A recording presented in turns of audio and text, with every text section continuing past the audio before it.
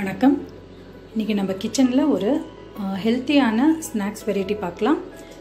Oats vegetable cutlet இது எப்படி செய்யறதுங்கிறத பார்க்கலாம். இதுக்கான இன்க்ரீடியன்ஸ் ஃபஸ்ட்டு என்னங்கிறத பார்க்கலாம். நான் வந்து உருளைக்கிழங்கு ஒரு நாலு மீடியம் சைஸ் உருளைக்கிழங்கு ஆல்ரெடி வேக வச்சு எடுத்து வச்சுருக்கேன்.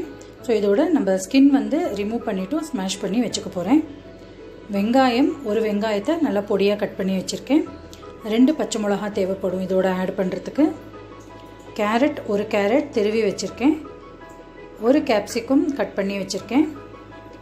ரெண்டு ஸ்பூன் கடலை மாவு ஹாஃப் ஸ்பூன் மிளகாப்பொடி ஒரு முக்கால்லேருந்து ஒரு ஸ்பூன் வரைக்கும் தனியா பவுடர் கொஞ்சம் கொத்தமல்லி கொஞ்சம் ஒரு க கரம் மசாலா தேவைப்பட்டதுன்னா போடலாம்.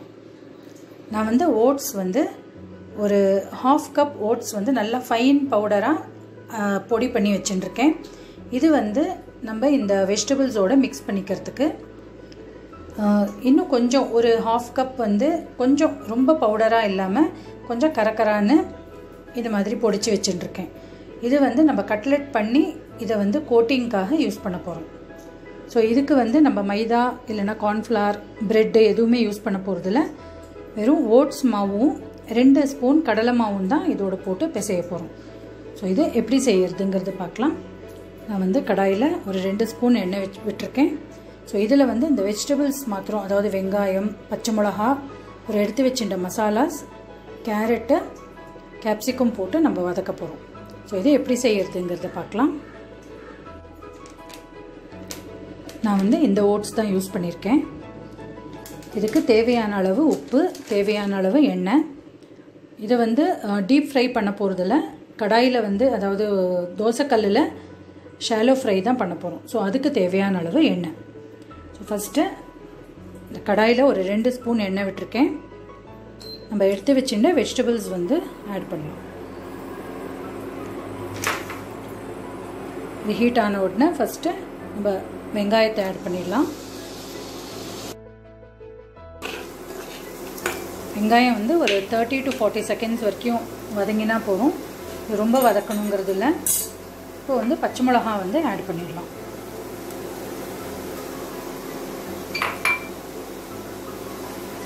கேப்சிகம்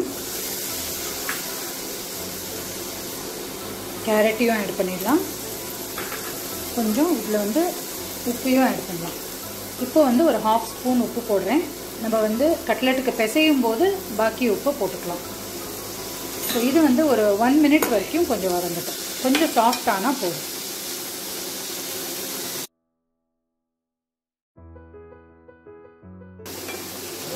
இந்த வெஜிடபிள்ஸ் எல்லாம் கொஞ்சம் வதங்கிடுத்து இப்போ வந்து நம்ம கொத்தமல்லி வந்து ஆட் பண்ணிடலாம். தனியா பவுடர் மிளகாய் பொடி கரம் மசாலா. இதுவும் போட்டு ஜஸ்ட் ஒரு half minute to one minute வரைக்கும் கொஞ்சம் வதங்கட்டும். பார்த்தோன்னா இதுவும் ரெடி ஆகிடுது ஸோ நம்ம வந்து ஸ்டவ் ஆஃப் பண்ணிவிட்டோம் இதை வந்து ஒரு மிக்சிங் பவுலில் ட்ரான்ஸ்ஃபர் பண்ணிடலாம்.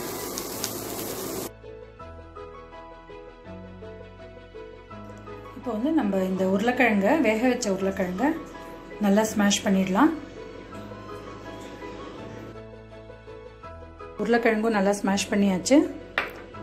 ஸோ நம்ம வந்து இந்த வெஜிடபிள்ஸோட இந்த உருளைக்கிழங்க மிக்ஸ் பண்ணிடலாம்.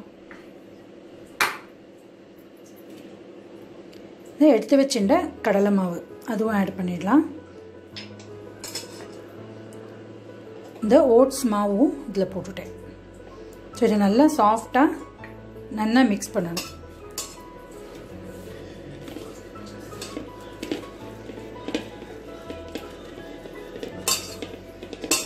இப்போ வந்து கொஞ்சம் உப்பையும் ஆட் பண்ணிடலாம். நம்ம ஆல்ரெடி முக்கால் ஸ்பூன் அரை ஸ்பூன் கிட்டத்தட்ட போட்டுருக்கோம் இப்போ வந்து ஒரு முக்கால் ஸ்பூன் போட்டுடலாம் ஸோ இதை வந்து நல்லா அழுத்தி பிசைஞ்சு நம்ம வந்து ரெடி பண்ணிக்கலாம். இது வந்து நல்லா பிசைஞ்சாச்சு. கொஞ்சம் நம்ம வந்து கையில் தண்ணி இந்த மாதிரி தோச்சுண்டு சின்ன சின்ன கட்லெட்ஸாக நம்ம பண்ணிடலாம். நம்மளுக்கு எந்த ஷேப் தேவைப்படுறதோ அந்த மாதிரி.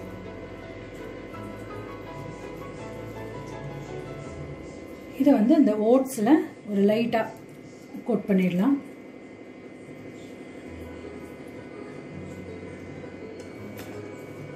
இந்த மாதிரி நம்ம வந்து எல்லாமே பண்ணி எடுத்து வச்சுடலாம்.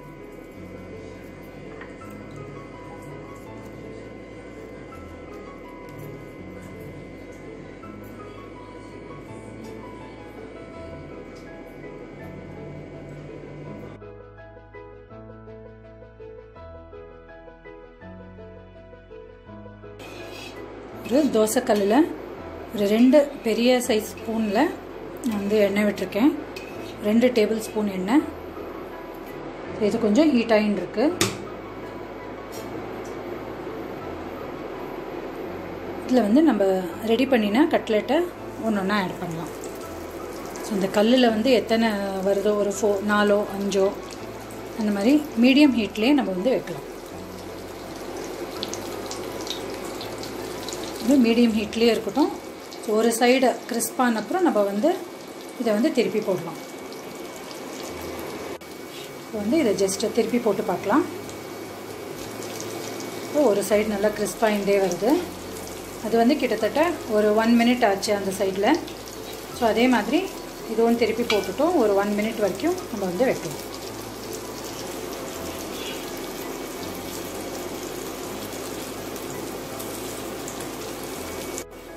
பார்த்தீங்கன்னா இந்த ரெண்டு சைடுமே நல்லா கிறிஸ்பாக இருக்குது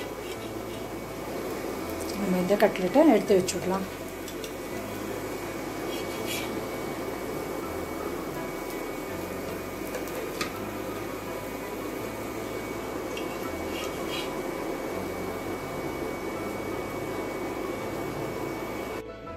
நம்மளோட இந்த ஹெல்த்தியான cutlet oats vegetable cutlet ready ஆகிடுது இது வந்து எல்லோரும் ட்ரை பண்ணி பாருங்க. ரொம்ப ஹெல்த்தி இதில் வந்து நம்ம மைதா இல்லைனாக்கா கார்ன்ஃப்ளவர் இல்லை ப்ரெட் எதுவுமே நம்ம சேர்க்காமல் பண்ணியிருக்கிற ஒரு ஹெல்த்தியான ரெசிபி ஸோ எல்லோரும் ட்ரை பண்ணி பாருங்க. நம்ம நெக்ஸ்ட் வீடியோவில் மீட் பண்ணலாம். தேங்க்யூ